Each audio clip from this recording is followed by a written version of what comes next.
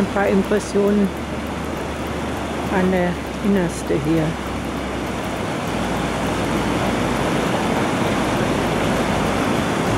Wie gesagt, es ist ein herrlicher Tag. Nur die Herbstfarben, die wollen dieses Jahr nicht so richtig rauskommen. Schade. Das Wasser ist ganz klar.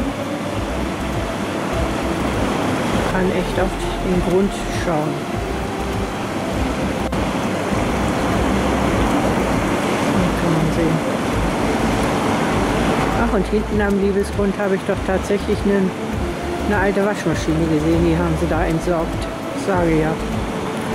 Ist was los hier bei uns in der Welt.